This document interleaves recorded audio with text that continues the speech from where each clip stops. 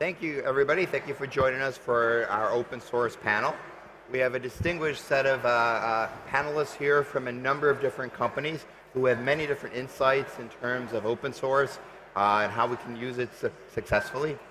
And what I would like to do to begin, because you do come from very different backgrounds, is to ask you to, to introduce yourself and explain a little bit what you do with open source and why you care so much about it. Because I know many of you are very passionate, and I've already seen the passion.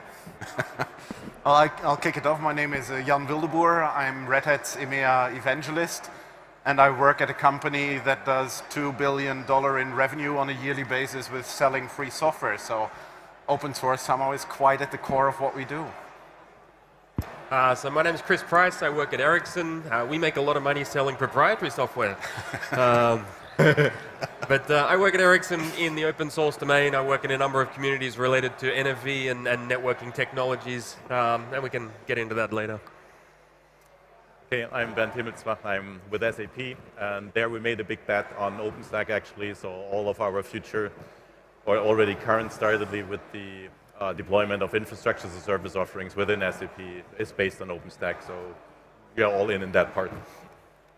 Hi, I'm Ken Owens. I'm a uh, CTO for Cloud Native here at Cisco. Um, I've been involved in open source since way back in the early cloud days. Um, have been involved in many foundations that have started, and uh, as of recently, I'm on the um, Open Container uh, Foundation, OCI, and the CNCF, Cloud Native Computing Foundation. Um, and, and just like uh, you know, Bernard mentioned, I'm very involved in OpenStack as well. Excellent. So as you can see, it's a very diverse crowd who look at, at things from very different angles. Uh, now, we have seen that open source has really increased dramatically in recent years. Okay, what are some of the changes that have occurred that have made this really happen? For example, open source today is very different than open source 10 years ago, and even five years ago or three years ago. So what are some of these changes that are really making open source take off? So, of course, I'm very biased on this, so, so I will be totally honest about that what we see is actually a quite simple thing. First of all, open source is highly professionalized nowadays. So if you look at the core projects that make up open source solutions like Linux distributions or middleware solutions, um, typically 80 to 90% of the developers working on that have jobs where they get paid to work on that, not only at Red Hat, but also at a lot of the companies here in this round and, and above. So what we see, what we feel and think is that open source is becoming the default, default uh, uh, development model for software. Not necessarily a business model, because that's not what it is. It's a development model, a cooperative way of interacting. Combine that with the fact that we're moving to a software-defined world where hardware moves to the outer fringes of the stack. And in the stack, you have, you know, if you have a 100% stack, around about 80% of that functionality is non-competitive in nature. It's stuff everybody needs. So if you have non-competitive parts in your stack, it makes a lot of sense to start working together cross-vertical and inside the vertical with your direct competition because it's non-competitive. And then you land at such projects like OpenStack and, and, and other things. It's a very natural movement. So what the press and everybody tries to say is a revolution. For me, it's an evolution. And you know, if you want to put an R in front of it, I'm fine with that. I think I can build on it a little bit. Um, I think open source is moving a little bit away from the, the traditional model of just collaborating on, on the lowest possible denominator to, to finding ways of exploring in the industry together on new ideas and new innovations. So what we see is, is when SDN came along, we all went and started to innovate in SDN in open source. That was the place we did it. Um, and, and new technologies for cloud, containerization, we, we start to collaborate and, and explore these things together in open source. Uh, and, it, and it's just a way of moving the industry faster. I mean, it, it, it allows us to uh, converge on common solutions much quicker. As a can just agree what you mentioned already, both of obviously. another aspect, what I want, like, would like to add is, um, is on the SAP side, there was an interesting aspect on going open source as well to get in some kind of new vendor neutrality. It's about if you have to make a bet on a certain topic, you don't want to get locked in. And with an open source environment, yes, you are locking in then to the open source community, but it's a community and on a single enterprise in there. And I think, I think what's been the biggest driver is um, the business need to innovate quicker and to get services out faster. Because in, in the past, it's kind of tied to the lock-in point, right? That if you needed to make a change for your software, you had to go talk to some vendor and say, hey, I want you to make this change. And most of those vendors would say, well, we'll put it onto a backlog or a roadmap, and maybe six months from now we'll give you an update as to how we're addressing that, that request, right? And when you have an open source community, just make a pull request, and if you can convince enough of the community that this is a good thing to do, within a couple weeks you may have that, that patch available to be used, right? So it's a, I think that's what's really driving enterprises and developers to really want to adopt open source is just the speed of change you can get things done in. Yes. Let's build on that a little bit. Uh, in each of your companies, you've used open source to solve a problem. What problem was that? How did you solve it? And what challenges did you overcome? Well, I'm out of that discussion because we do nothing else. I mean, sorry. the floor is yours.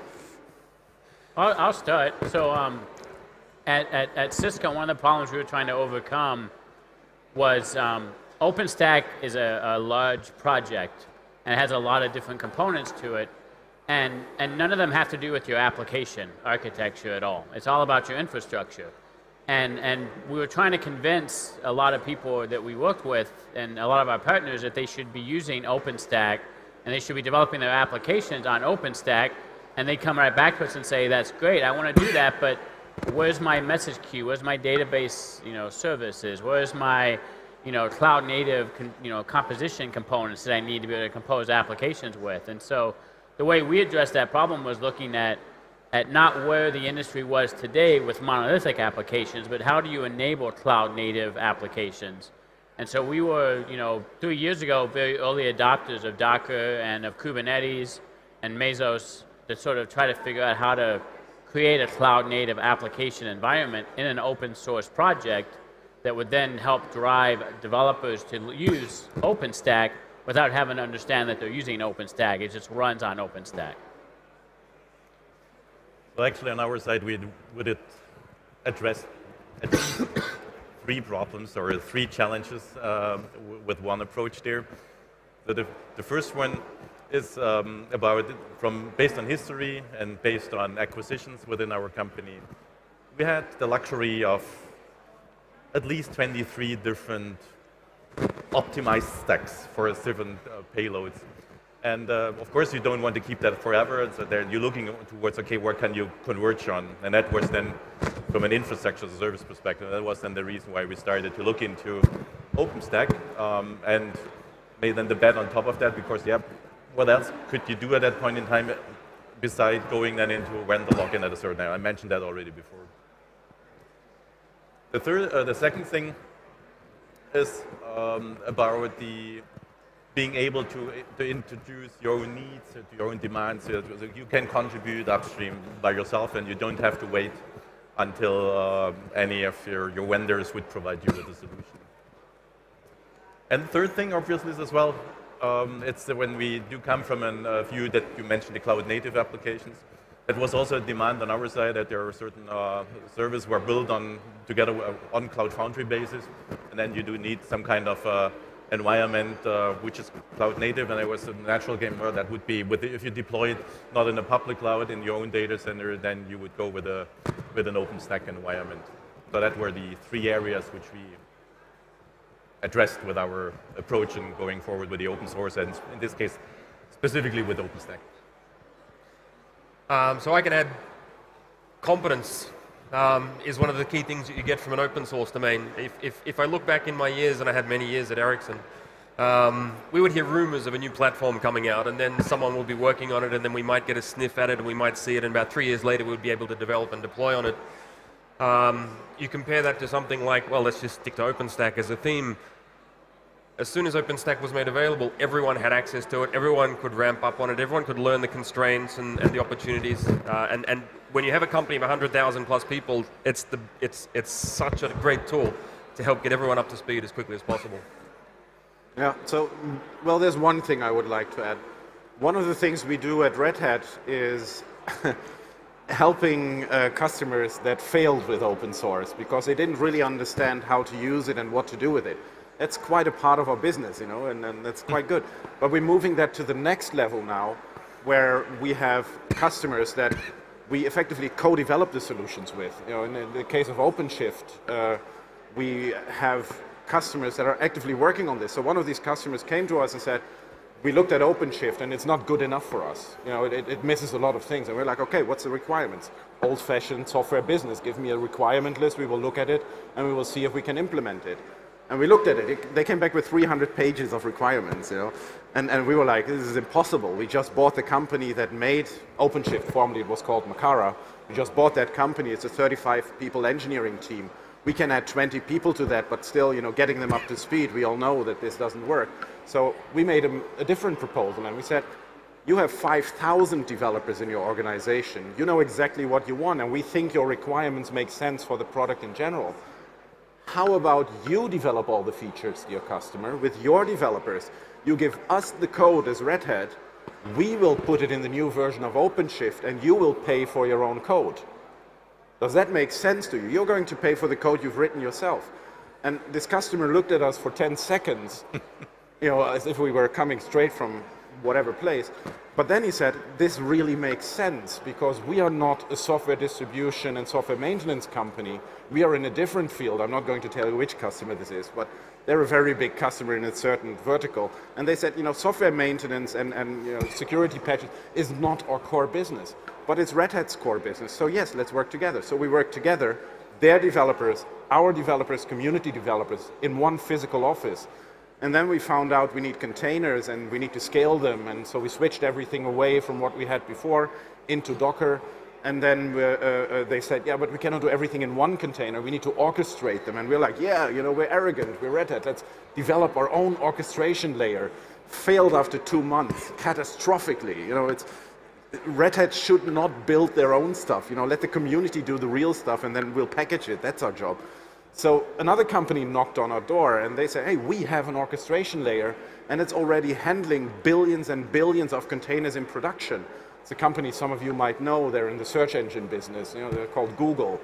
And, and so, so we put Kubernetes into the, into the solution. So now we had the Google developers, the Red Hat developers, the customer developers, and community developers all working together. And I think that's an important aspect. You, know, you see a similar thing with OpenStack. You had the first phase where everybody thought they're going to do their own OpenStack. You companies that got a lot of venture capital for creating another version of OpenStack, which is not exactly what Upstream is doing. And now that's getting into a commodity layer in a commodity business, and there are some big failures, but also some progress. But we're moving into a world where customers take the responsibility of the stack in-house again and not offloading that responsibility at a vendor, no matter if it's open or proprietary. So with that new way of thinking on the CIO level, comes these opportunities that change the customer-vendor relationship into a more gray area of, of collaboration and cooperation, which I think is very important for the future. Excellent. Very good description. Now, um, along those lines, we also know we also know that open source can be expensive to implement and use and so forth. And maybe Bernd, from SAP's point of view, how do you do it? Who does integration? How who pays for it and so forth to use open source. I didn't get the question there. Do you, speak to up? Use, sorry, to use open source can be very expensive at times. It can, yeah. How do you do it? Who pays for it? Who does integration? And who pays for it in SAP? Uh, well, actually, at SAP, we are following a twofold approach. Um, on one hand side, in certain areas, we're using a distribution. Um, other areas, we don't use a distribution, so we actually I don't want to say we build our own distribution, but we use our own patching, deployment, orchestration methods. And probably questions are coming up then, oh, why you're doing that in a twofold approach. But there's basically two different use cases. So on one end side, we need the flexibility to influence it really strongly by ourselves in very short innovation cycles. And in other areas, uh, we, uh, we, have to, we want to have a stable area when it comes to that it's also transportable to a customer side so that you can have private cloud deployments.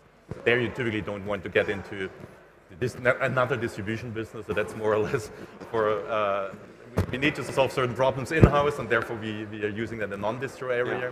But when it comes to being able to deploy something on the customer side, then we don't want to be in the, uh, in the distribution business.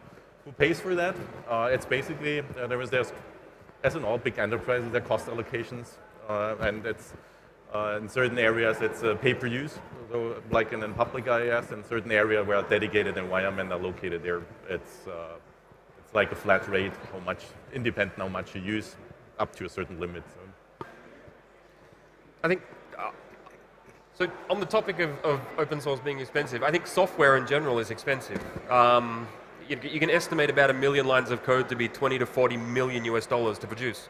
Um, and then you can estimate that that million lines of code, in order to continue to use it and sustain it, is going to require about a 60% investment in maintenance, adaptive maintenance, essentially. Um, so for every million lines of code you have out there, you need a large workforce to maintain it and sustain it.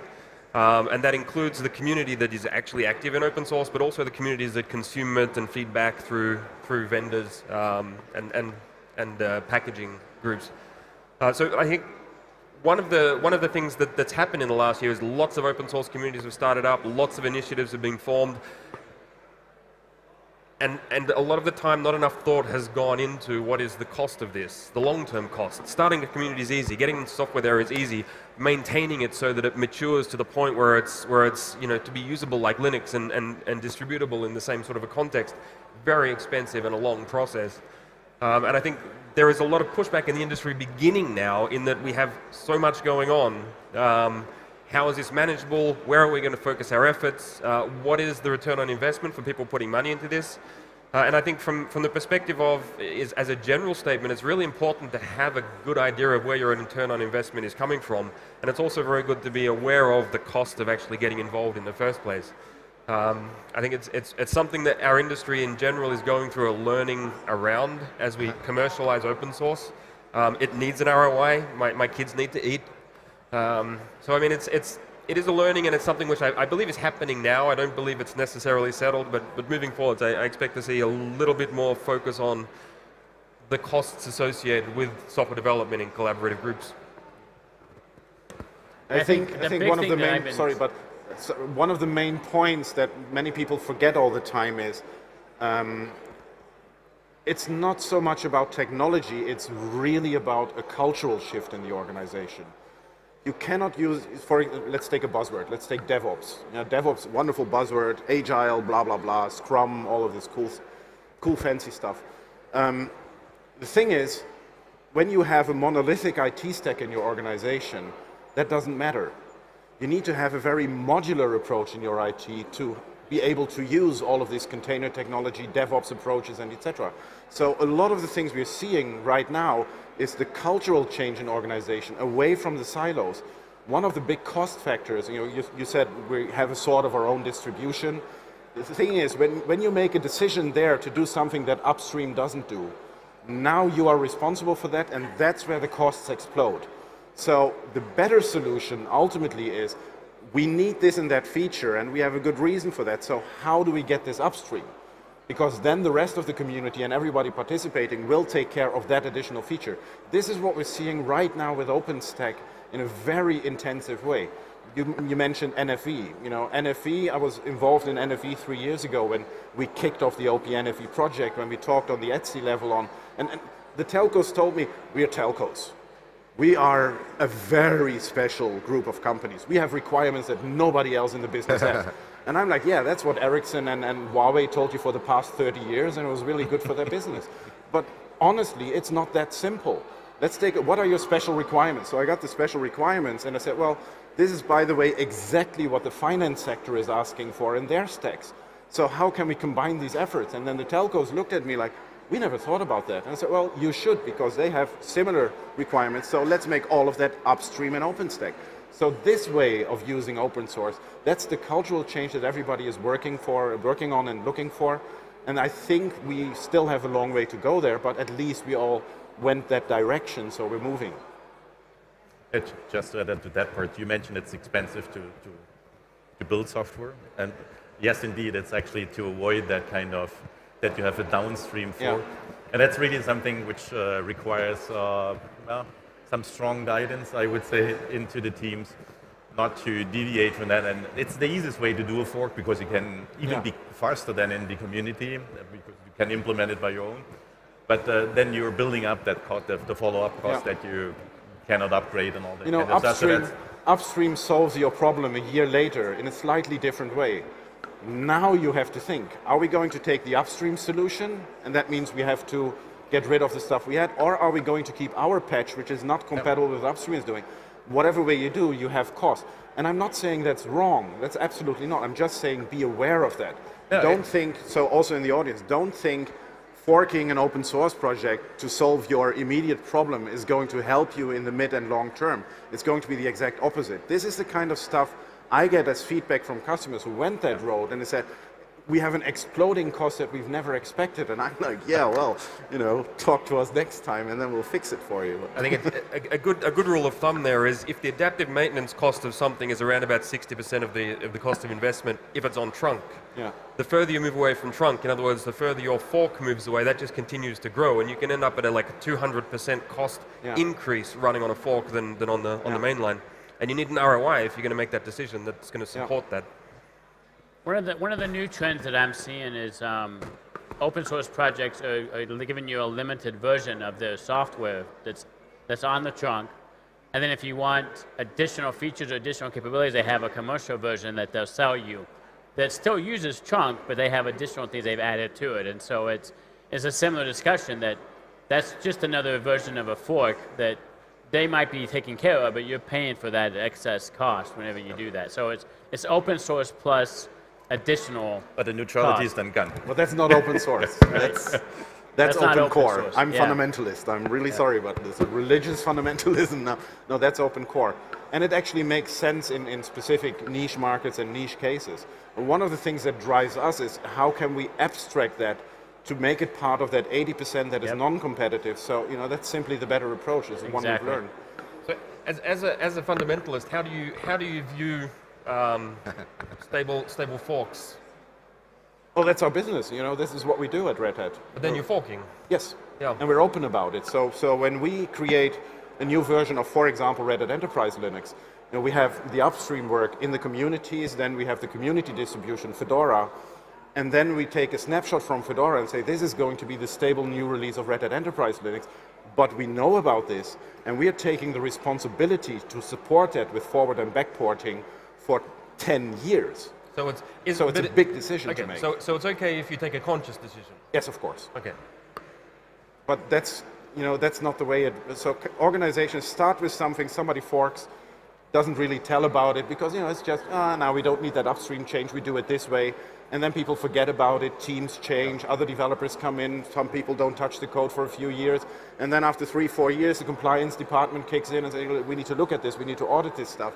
And then everybody's suddenly like, whoa, what, what, sorry, what's going on here? And, and how can we deal with yeah. it? Especially when you look at embedded market, you know, when we look at, at all the stuff we have in embedded and IoT markets that are growing right now, this is going to be one of the problems. How do you get them updatable and how do you have a defined update and upgrade path for all of the stuff you're using?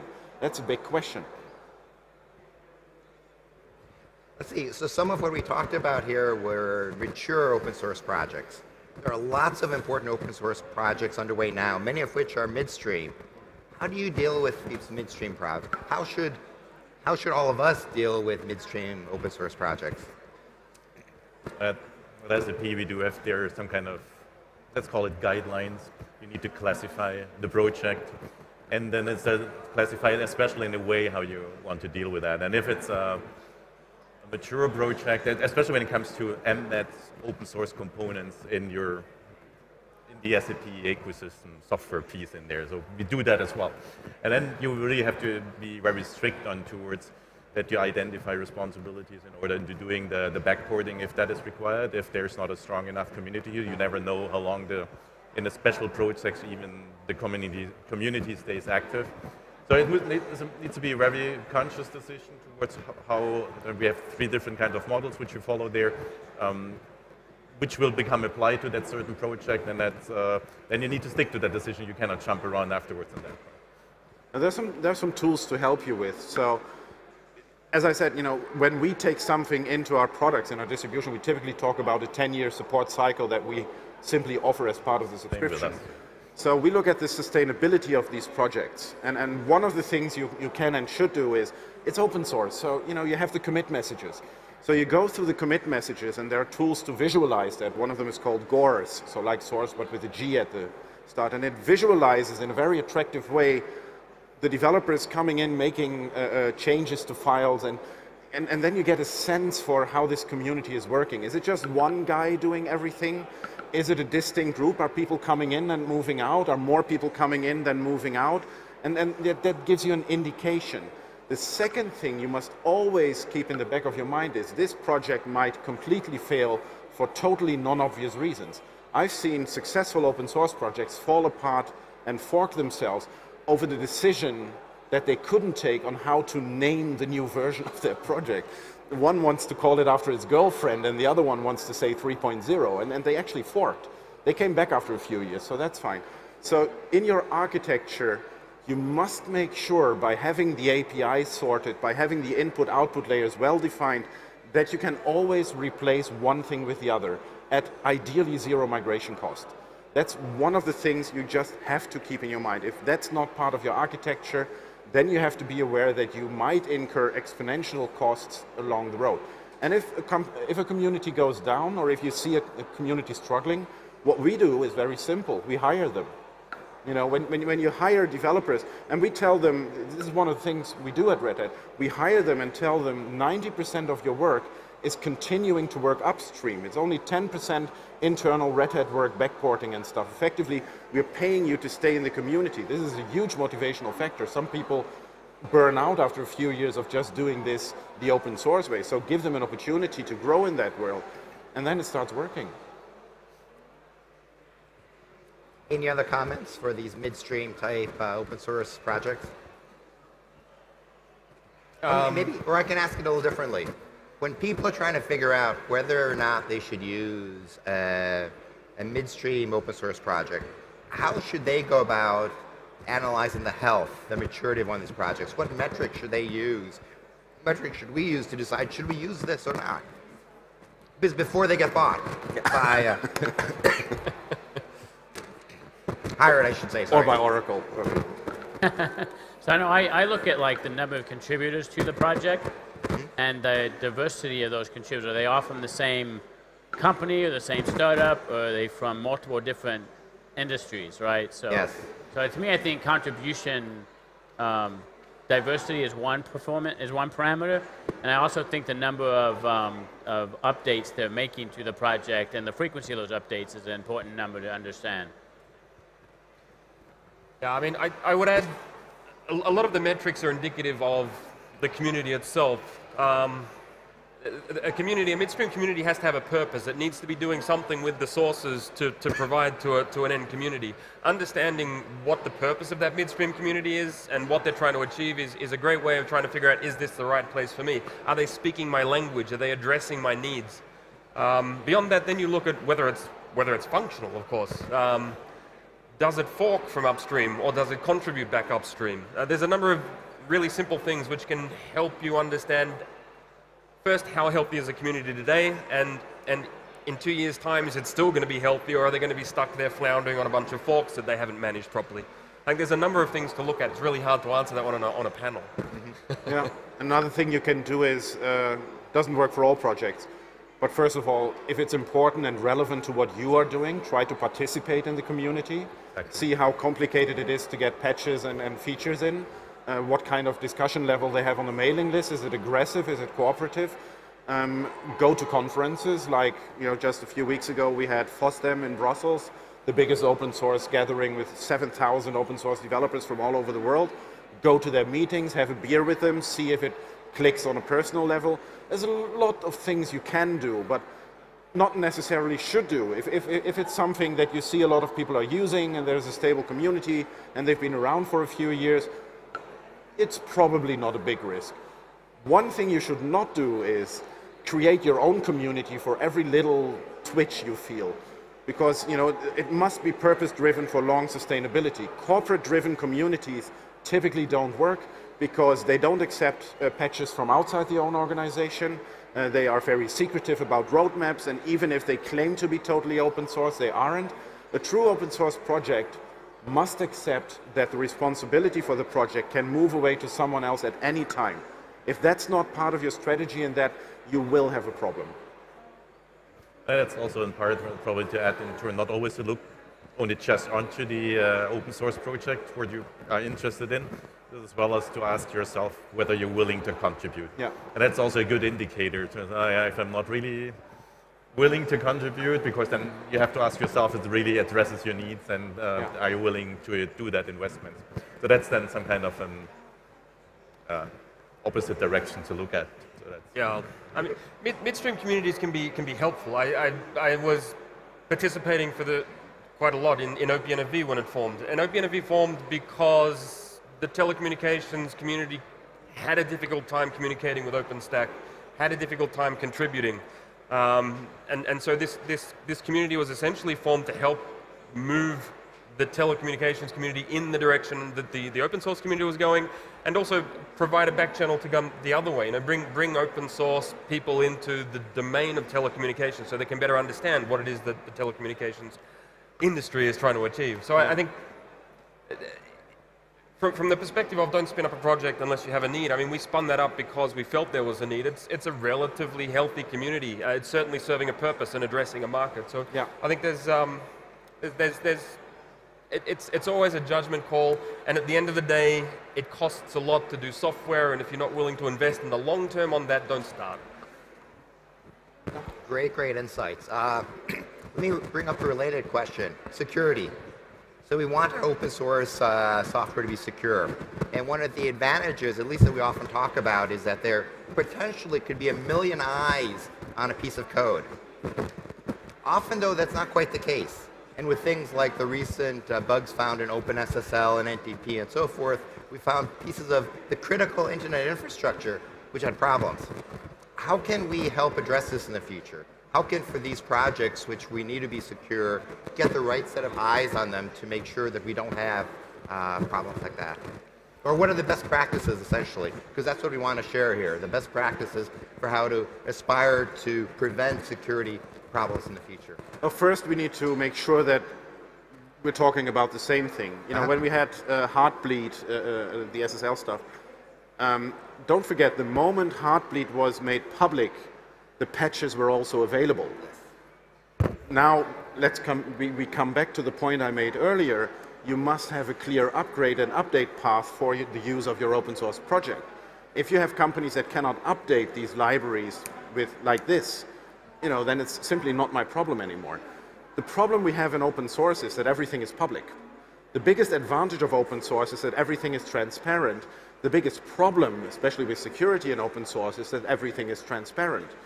So we have organized that in the background. You know, stuff like Heartbleed, there is interdistribution contacts on all of this. Um, SAP and other companies participate in this. We coordinate this stuff. We make sure the patches are available, which doesn't always work. Sometimes you have whatever weird hacker that wants to make a personal reputation about going immediately online with a zero day. But trust me, in the proprietary world, things are not better, to put it friendly. we know that, that proprietary companies sometimes sit on really dramatic bugs. You know, Microsoft just announced that their complete security updates will be postponed for a full month. That's, uh, we don't want to be better than bad. No, no but we want to. But what are the best We want to understand the specifics of yes. open source. Yes. The specifics are: it happens in the open. We solve it in the open. We open ourselves up to much more scrutiny and much more research and people looking at our stuff but potentially we also use a lot of projects that nobody looks at.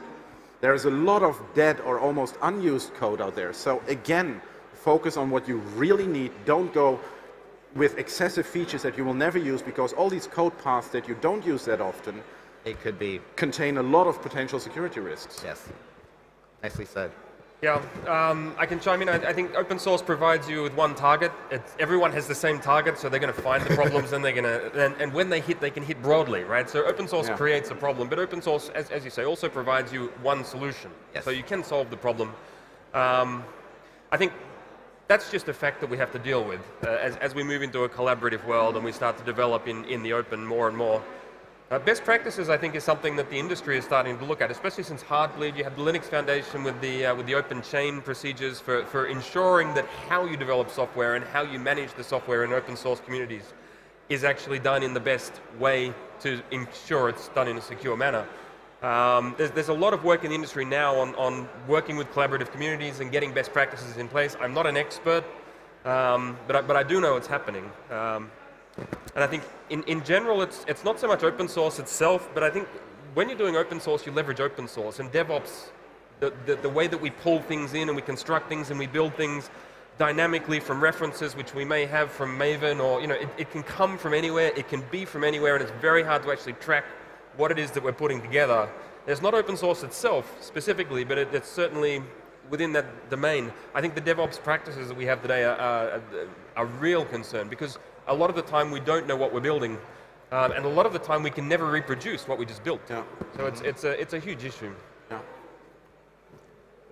to be honest, we don't distinguish too much between uh, closed source software and open source software. That's, they, we apply the same principles or processes around that. It's, with an SAP, we did um, establish a, a, third team which does monitor whether it's commercial software, whether it's open source software, um, to monitor the uh, ongoing stuff and whether there are uh, uh, vulnerabilities or whatever, and then then agile methods to allow you typically to react faster than in the normal commercial environment. But in general, no differences, I would say. That's do the best practices you know from your normal non-open source software as well.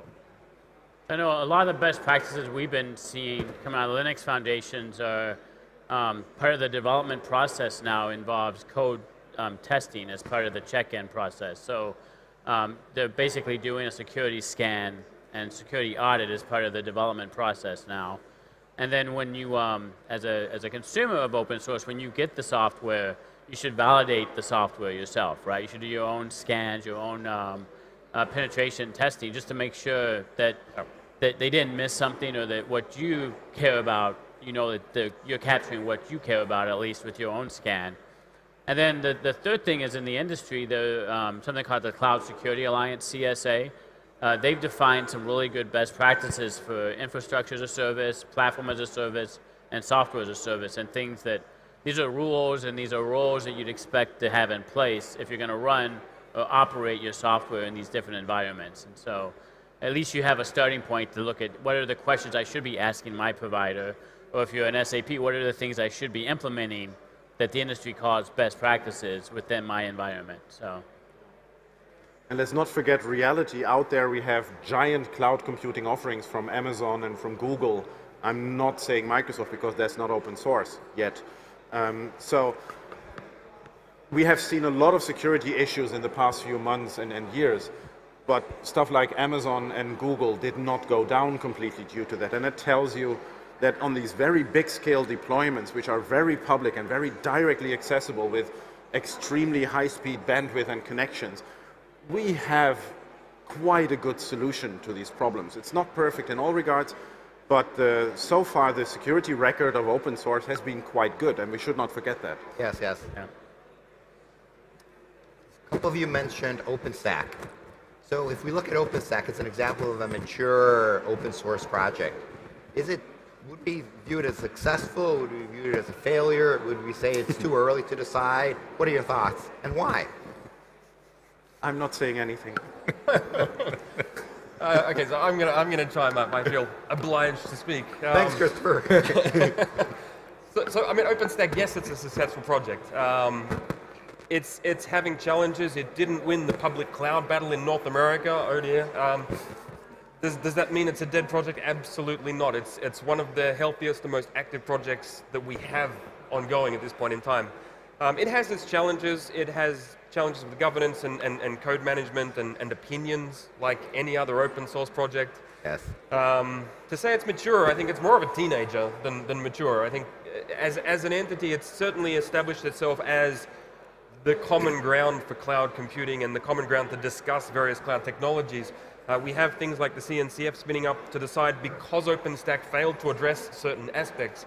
Um, that's not complete failure, right? There's nothing to say that OpenStack can't talk to CNCF and solve the problem. So I, I, it's just a learning curve, and, and you miss some things, you have to gain some things back. As long as it doesn't, you know, close its eyes and just focus down into some ditch somewhere. I think it's going to be a healthy community for, for much longer. I can agree. It's uh, from our perspective a well-managed community. It's a big one. It's uh, I would also call it healthy. Is it mature? It's it's teenagers probably a good a good explanation. It's out of the uh, out of kindergarten definitely, um, but nevertheless a lot of stuff ahead you, especially in certain areas where you have very specific needs, and when it comes then to the large enterprise readiness.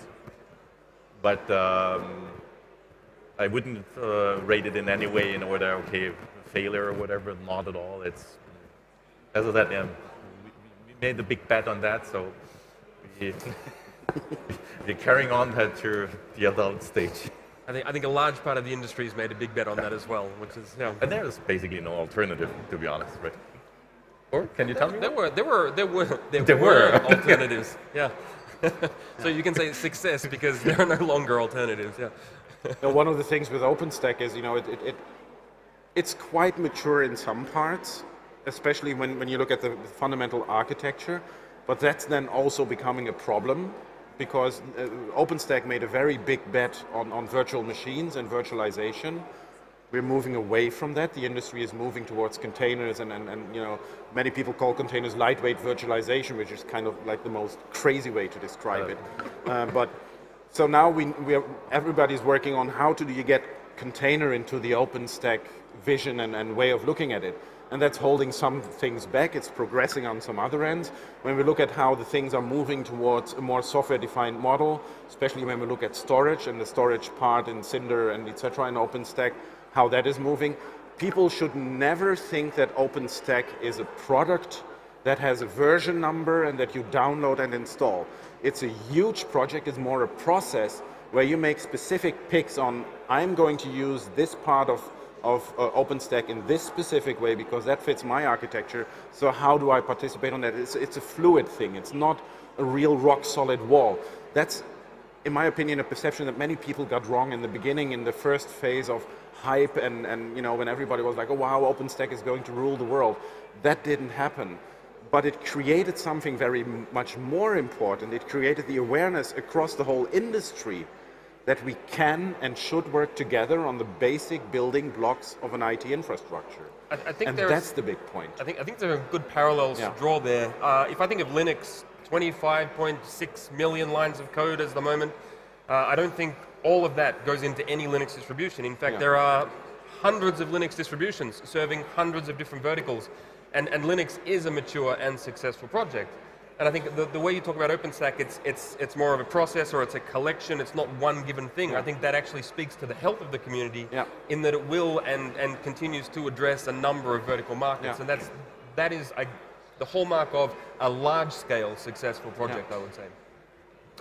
Sorry. That's okay. I was, I was just going to kind of divert, you know, go a little bit against the, the grain here that I think OpenStack is at a point where they're, they're at a crossroad because they're a little bit too late. They, they, to your point with the containers, they've, they're trying to figure out how they can make a pivot. And so I'm, I'm not sure if, you know, I think they're at a teenage maturity and they're either going to make it into adulthood or they're going to just fall back into infancy and, you know, fail. I'm not sure which one yet, but they're at a, I think they're at a, at a turning point right now that um, there are companies, big companies like SAP and others that have adopted OpenStack, and that's not going to go away anytime soon. But there's a whole large industry out there that is moving away from do it yourself and moving just to Amazon or moving to Google and doing the containers and not even thinking about OpenStack at all. And so we have to figure out as a community, you know, part of my job in the Cloud Native is working with this with uh, the OpenStack community, saying how do we how do we make this transition to Cloud Native with OpenStack, and working with the Cloud Foundry community, saying how do we make the transition to Cloud Native with Cloud Foundry and with OpenStack, right? Because they're all Linux Foundation projects. And within the Linux Foundation, they all have their own separate roadmaps that they're working towards. And trying to bring all that together, and you know, thankfully, we have partners like Red Hat that are helping to like bring some of the maturity of how do you manage large projects together. And so it's it's it's semi interesting, I think, to see what happens over the next couple of years. Yes, yes. So one last question, because one of our colleagues here needs to catch a plane, so we'll do this quickly. Uh, open source has been had a huge impact in many transformations. What do you think are some of the upcoming disruptive technology transformations that open source will impact? You know, just hit, hit the, the topic, one or two from each of you. Yeah? We already did finance. We already did stock exchanges. We already did. We're now very good on our way in telco. So it's you know it's getting tough to find something that could be. um, no, honestly, I think that the most interesting stuff that we're seeing right now is um, in in the uh, IoT space, in, mm-hmm. in embedded stuff, where we're not only having open source, but we're now also seeing clear moves towards open hardware and open architectures. Yes. So that would be my most interesting thing. But that's also a very complicated market where a lot of things have to be experienced and built. But I'm looking forward to it. You took one of mine. um, you can agree with prior speakers too. You can just say all I agree and then you know we're done. it, it, may be the wrong event to say it, but I, I, would say open source is going to redefine how the internet works. Mm-hmm. Um, at the end of the day, uh, the next the next great thing is how operators run their networks and how they deploy software and how they build their networks. It's being impacted already by open source software and technologies, and I think that's going to redefine how we establish and, and manage connectivity in the in the broader uh, well around the globe globally. I mean, it, it's going to redefine the internet. That's disruptive you're bringing something up on the SDN area. So even it's also a long talk already, but still not there where we want to be. Um, so when it comes to the next big thing, I, my bet would be also on the big data and the IoT stuff there. That's basically where I'm a little bit biased on that part based on for what we are using OpenStack now as say. So I, I, to me, there's two big areas um, that haven't been covered. One is um, healthcare and kind of the back office processes within enterprises. So those those two um, industries, if you will, I think are very ripe for, for in innovation to happen within them. And then I think in, along the lines of IoT, the mobile app space is, is still very much a, it's some openness, but there's mostly closed systems in there. And I think that's where, as you look at the evolution of devices and device management, you're going to see mobile, the mobile network environments change a lot. Cool, excellent. So we have a lot of exciting times ahead with us with open source. Uh, so let's give a thank you to our distinguished panel here for joining us. Thank you so much. Thank you.